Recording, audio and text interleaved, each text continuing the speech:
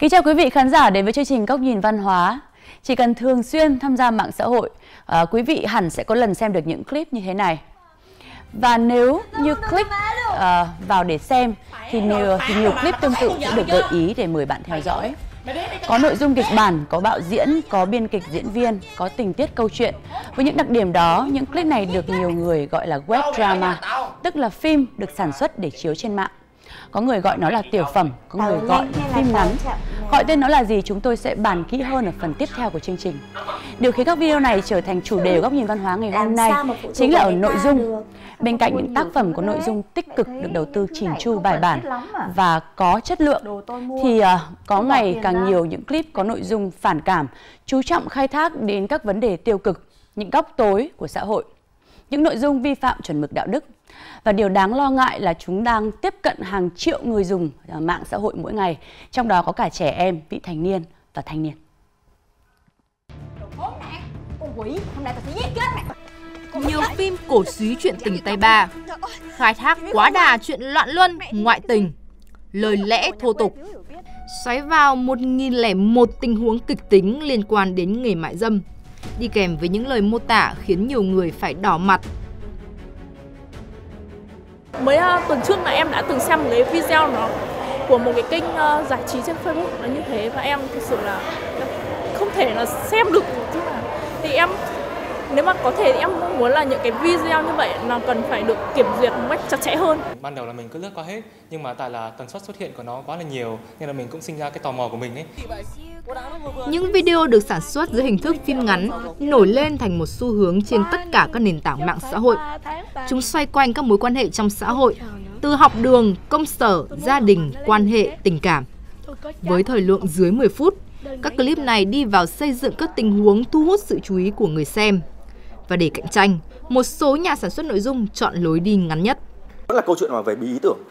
Khi mà tất cả mọi cái câu chuyện xung quanh là về cuộc sống đều trong cái mối quan hệ gia đình vợ chồng mình đều khai thác được hết rồi thì nó sẽ sản sinh ra một cái dòng content mới đấy là có thể gọi là content bẩn ờ, có thể liên quan đến là về loạn luân hay là về những cái mà mối quan hệ mà nó trái luồng mặt lợi thì tất nhiên là tiền bởi vì là họ kiếm tiền là qua view họ kiếm tiền ở trên YouTube và hiện tại bây giờ kể cả ở trên Facebook cũng trả tiền qua nền tảng video ngắn clip phim ngắn đạt hơn 1 triệu lượt xem trên nền tảng TikTok. Chỉ trong 24 giờ, có từ 3 đến 4 clip được đăng tải đều đặn. Vậy là chỉ trên một kênh như thế này, trung bình một năm có thể cho ra đời cả ngàn clip. Đăng tải đa nền tảng, số lượng khán giả mà chúng tiếp cận vì thế lên tới hàng chục triệu lượt người. Gieo rắc những suy nghĩ tiêu cực về mối quan hệ trong xã hội, thậm chí xoáy cả vào những chuyện loạn luân, vi phạm chuẩn mực đạo đức xã hội, khơi dậy những góc tối, phần xấu ẩn sâu bên trong con người.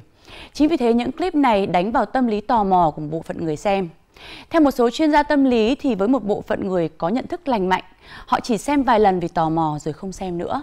Nhưng với một bộ phận người dùng quan tâm đến các vấn đề tiêu cực hoặc vốn sẵn có những ẩn ức những khó khăn về tâm lý thì họ sẽ dễ bị lôi cuốn và bị ảnh hưởng bởi những nội dung này.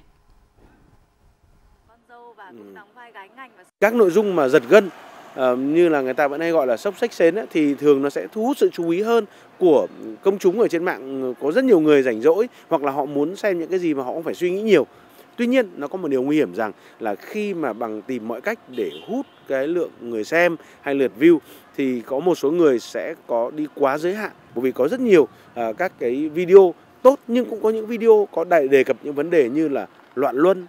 ấu dâm hay thậm chí là xâm hại tình dục, quấy rối tình dục và coi rằng đó là chuyện bình thường. Thì có lẽ nếu như người xem mà không tỉnh táo thì sẽ nghĩ rằng à đây là điều đang xảy ra thực sự ngoài đời sống và ngoài xã hội và tôi nên làm như vậy. Thì vô hình chung các cái web drama này đang lái người ta đến những hành vi lệch lạc thành ra là tôi xin khẳng định là web drama là một sản phẩm nội dung của thời đại số và nên cổ vũ nó phát triển tuy nhiên phải có những giới hạn về mặt uh, pháp luật về mặt luân lý về mặt văn hóa thuần phong mỹ tục để nó không dẫn đến những hậu quả xấu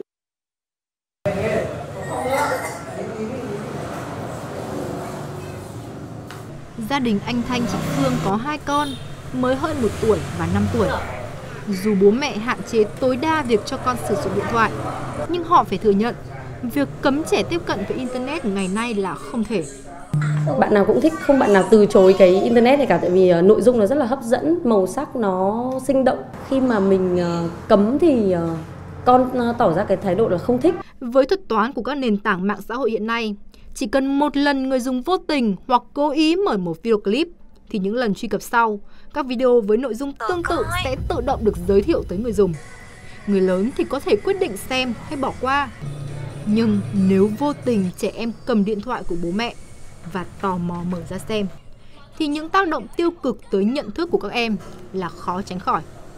chắc chắn là không thể là là làm uh, dám chắc là con mình chưa từng xem phải những clip như thế này với người trẻ thường xuyên lướt mạng xã hội, những phim ngắn như thế này không hề xa lạ. Xem nhiều nên cũng thành quen. Nhưng ai dám chắc,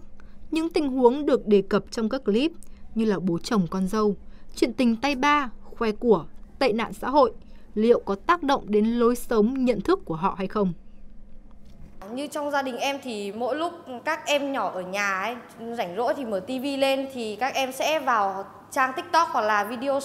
YouTube Short. Các em có ở nhà cũng là đóng giả làm trai bao hoặc là gái đi theo như thế. Em rất là, kiểu, cảm thấy rất là sốc. Câu hỏi đặt ra là cơ quan nào chịu trách nhiệm quản lý những clip này và họ quản lý như thế nào? Chúng tôi đã liên lạc với đại diện Cục Phát thanh Truyền hình và Thông tin Điện tử, Bộ Thông tin và Truyền thông. Cơ quan này cho biết đây là sản phẩm do Cục Điện ảnh, Bộ Văn hóa, Thể thao và Du lịch quản lý. Liên lạc với Cục Điện ảnh thì cục đại diện của Cục đã cho biết họ bận nên chưa xem những phim này. Liên lạc với Thanh tra Bộ Văn hóa, Thể thao và Du lịch, câu trả lời là họ chưa biết đây là sản phẩm thuộc thể loại gì nên hiện chưa xác định được có thuộc trách nhiệm quản lý, kiểm tra, giám sát của Bộ hay không. Trong lúc cơ quan chức năng còn chưa quan tâm đúng mức đến loại hình video này, thậm chí chưa gọi được tên chúng một cách chính xác và thống nhất, thì mỗi ngày các clip như vậy vẫn tiếp tục được sản xuất, tung trên các nền tảng mạng xã hội, phát tán đến tay người dùng, kích động những góc tối trong tâm hồn của họ như định kiến về giới, sự thù hằn, tâm lý, phân biệt giàu nghèo, tuyên truyền cho những tệ nạn xã hội. Nhà sản xuất phải chủ động trong lĩnh vực ừ, à, của mình có nghĩa là xếp loại hoặc là đưa ra những cảnh báo. À, đây là bộ phim hư cấu đây là những cái khán giả không nên bắt chước theo hoặc là chỉ dành cho những khán giả trên 13 tuổi trên 15 tuổi trên 18 tuổi. Thứ hai là phía phía nhà quản lý thì đưa ra những cái quy định và cũng như là trong thời đại số này chúng ta có những biện pháp à, về mặt à, về mặt kỹ thuật để ngăn chặn là nếu như trẻ dưới mười mấy tuổi thì không được xem những chương trình nội dung này nhà trường cũng phải đưa cái nội dung năng lực số nội dung uh, kỹ năng tồn tại trong thế giới số vào như là một uh, kỹ năng cần thiết để dạy từ cấp 1 cho đến tận đại học. Các nhà cung cấp dịch vụ cũng phải chủ động chặn những nội dung mà không tốt để không cho lên các kênh của mình. Người xem có quyền tối thượng là quyền không xem và các bạn biết rằng là khi mình xem những nội dung xấu thì mình sẽ bị cuốn nó vào trong đó và tự nhiên nó cứ gợi ý cho mình và mình xem mãi. Vậy nếu mình không xem không click ngay vào từ đầu thì nó cũng sẽ không hiện lên nó không gợi ý cho bạn. Thì tôi nghĩ rằng trong thời đại số thì khi tiêu dùng các nội dung số người tiêu dùng cũng phải trở thành những người tiêu dùng thông thái. Trong bài phát biểu mới đây tại Hội thảo khoa học cấp quốc gia 80 năm đề cương về văn hóa Việt Nam, Bộ trưởng Bộ truyền Bộ Thông tin và Truyền thông Nguyễn Mạnh Hùng chia sẻ: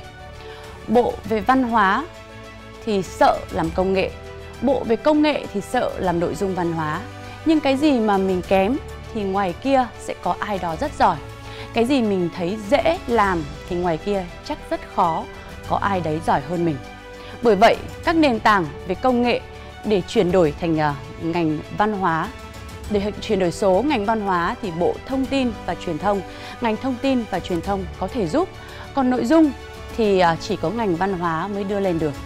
Trong bối cảnh mạng xã hội phát tán rầm rộ như hiện nay, các sản phẩm văn hóa đưa lên các nền tảng à, ngày càng nhiều. Từng phút, từng giây mỗi ngày, các cơ quan quản lý cần cập nhật các xu hướng mới nhất, chủ động sát sao phối hợp chặt chẽ với nhau để cộng tác à, và để có thể quản lý được à, văn hóa trên không gian mạng một cách chặt chẽ và hiệu quả. Bởi không gian mạng như hệ lụy thật của nó là rất lớn. Chương trình góc nhìn văn hóa ngày hôm nay xin được kết thúc tại đây. Cảm ơn quý vị đã quan tâm theo dõi. Xin chào và hẹn gặp lại.